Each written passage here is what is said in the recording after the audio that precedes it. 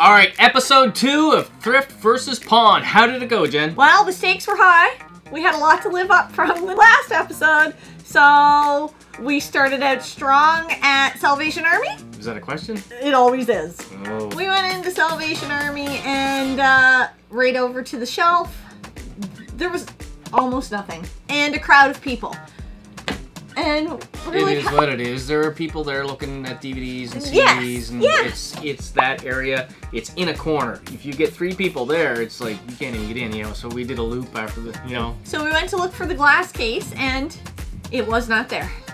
And we were like, where's your glass case now? Well, they had moved a glass case over to the outside wall and there was more of nothing not there. I mean, I took a quick pan in it. It was Yeah. just pointless. There uh, there really wasn't much of anything. any kind of gaming related stuff. There there was some stuff sitting on the shelf, kind of right in front of the cash. It very generic stuff. The stuff that was sitting on the shelves by the DVDs on it, very generic. A lot Yeah. of it was PC. I mean, I almost bought a PC game because I was panicking at the first stop. She was like, "Should I buy it?" I'm like, "Are you gonna play it?" I was like, nope. Pro- no. Uh, why would you buy it? Yeah, I just it, I was gonna panic buy. Did we leave Salvation Army empty-handed? Well, no, because Scott got this. It sounds like we're in for a fun time, and you're gonna get dressed up for it.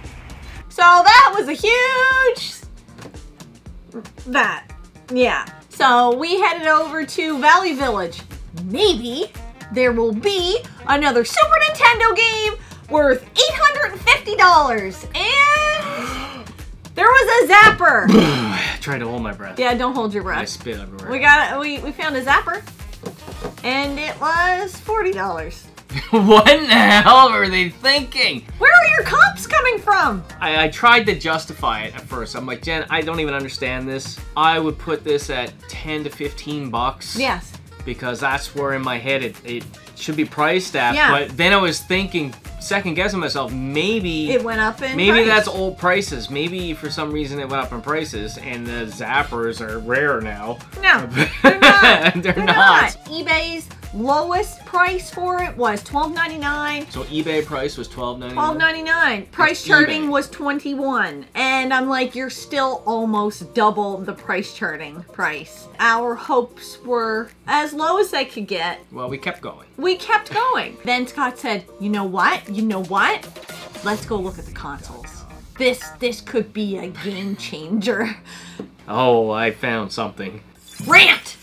So first thing we see is a PS1. And it's got a sticker on it that says faulty laser. Does and not it's work. Priced at Twenty dollars. uh, $19.99. Or was it just a $20 sticker? It was nineteen ninety nine, but Okay. you know, twenty dollars. My immediate thought was, where's the power cable? Where's the video cable? If this was tested and has Mm-hmm. a faulty laser, where in the hell are the cables for it? They weren't with the console. Either A, maybe somebody unhooked them and pocketed them and walked out with them. B, I'm thinking they parted them out, possibly if they Mm-hmm. came with it, or they used some of their own there. Either way.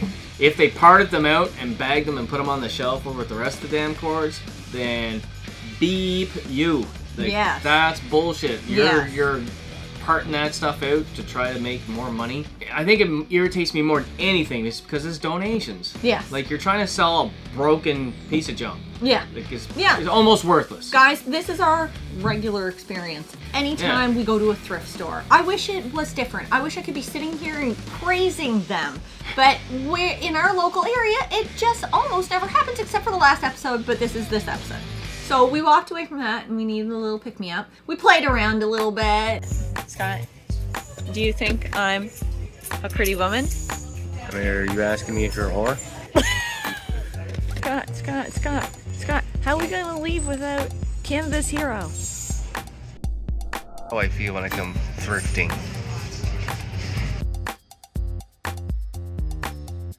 Scott, don't worry, I've repented and I've found Jesus. Why, why do I bring you with me? There's no clip of this is what Scott picked up that wasn't game related because we picked up nothing. We just yeah. left. It's time for Parlor Pond to save the day yet again. so we go to Parlor Pond and we're apprehensive. We don't even have a video if they have nothing here. We looked at the daily deals while we were driving. Yeah. I didn't ask them to put anything on hold. There was something I was interested. in. We did pick up one the first time we were there and another the second time we went back. So here's the first game we picked up Dragon Warrior 1 and 2. Game Boy Color. Yeah, it was priced at $39.99, $39.95, something like that. Yep. It does go for about $50 on price charting. Anything below price charting in a pawn shop to me is a good deal. And I don't have a whole lot of Game Boy, Game Boy Color, yeah, even Game Boy Advance. We don't have a huge collection. we really don't. And it's an RPG, and I was like, hey, I want to try. Yeah.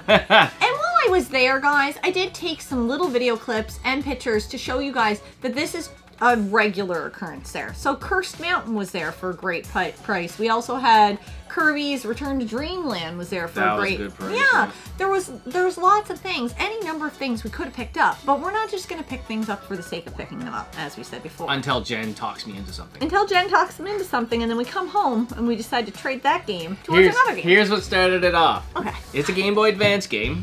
It's been there, let's say, it was there before Christmas. Yes, definitely before Christmas. So it's got to be there. It's got it's months, and it was priced well when it was there.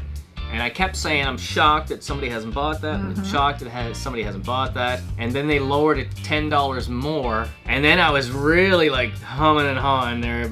But the first time I had seen it, you had talked me out of buying it. I talked him into buying a complete uh, DS game, Etrian Odyssey 3, The Drowned City. It's an Atlus game. Basically picked it up because That was traded into the store, I do believe, at the height of the whole DS thing.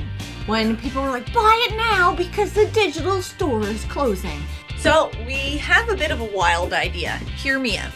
The thought is to trade that in, even though we bought it from the Perler not all that long ago, and possibly get instead. Remember what we paid for it?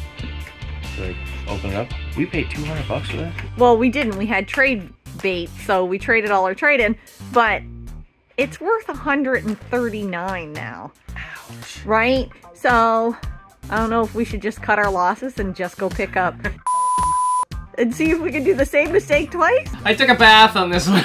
Yeah, a, a little bit of a bath. So, we lost our shirt on it, but we did get this game, which was a really good price. We got DemiKids, the dark version. This one on price charting is about 150, 160. The We- game that she talked me out of a few months ago. Yes. She talked me into it this time. It was ten dollars cheaper. But the game that she talked me into trading, we lost about a hundred. we did! so it's a good deal. It's a great deal. so yes, I'm a very persuasive and uh, not so intelligent woman. So uh, this one goes to pawn this time. I I think we have to give the win to pawn. well, if even if we just take what we paid for both of these games, what they're actually worth, I like We- we saved twenty percent on this for price trading. Yeah. I don't know what the math is on this one. But But we'll put it up on here, and Yeah. and so we have to give the win. Now I would love to hear your guys' thoughts. We're doing a best of seven.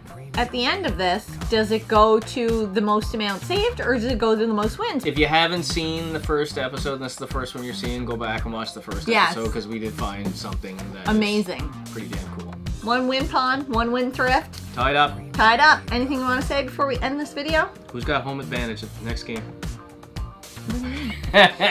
Don't sports talk me here. I'll be way out of my depth. I'm just having fun game hunting. I am too. Pissing me off for certain things. Well, you're having a great time. Yeah, either way, I'm getting getting some stuff I want. Exactly. All right, guys. Thanks for tuning in for episode two. Who knows what episode three will bring? But until next time, game on. There. Okay, this one's for Mort since I did such a great impression of it for the first time. Who wants to be a millionaire? I Can't believe you made me record that.